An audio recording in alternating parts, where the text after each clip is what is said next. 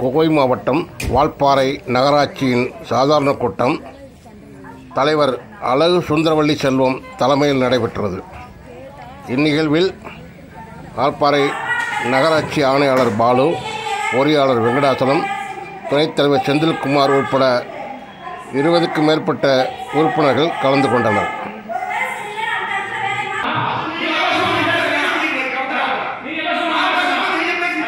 கூட்டத்தில் நகராட்சி சார்பில் அமைக்கப்பட்டிருக்கும் தார சாலைகள் பணிகள் சரியான முறையில் இல்லை என்று அதிமுக கவுன்சிலர் புகார் தெரிவித்தார். இதனைத் தொடர்ந்து நகராட்சி கூட்டத்தில் சலசலப்பு வாக்குவாதம் ஏற்பட்டு பரபரப்பு ஏற்பட்டது.